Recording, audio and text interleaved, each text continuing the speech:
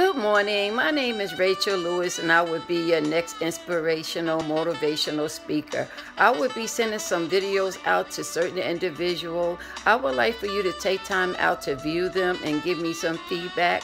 Looking forward for success. Thanks again for your time.